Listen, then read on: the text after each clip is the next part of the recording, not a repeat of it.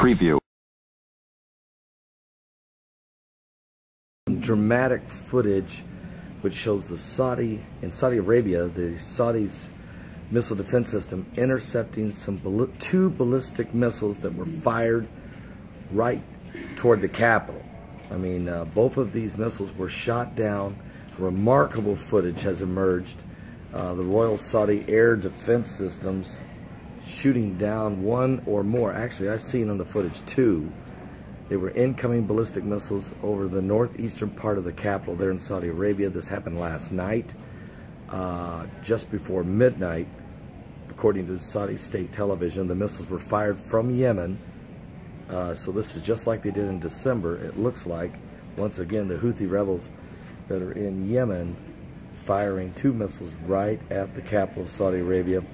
You know, they've said they're going to try to blow up Mecca, and, and uh, this is crazy.